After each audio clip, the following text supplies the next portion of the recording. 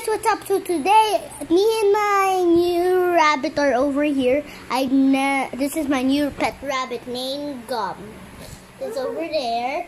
If you're wondering, yeah, he is very soft, gentle, but sometimes he's very shy and he runs, and he is full because um, my half tita, half uh, cousin and I have I don't know what's after the comment down below.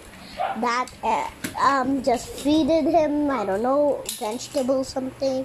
I'm trying to feed him carrot. It's over there on the table trying to feed him. He actually tried to bite it and I felt his teeth on the carrot.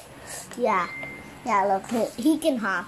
It's not like a kangaroo hop, but that's how they hop. It's like a small, whoop, like that. Yeah.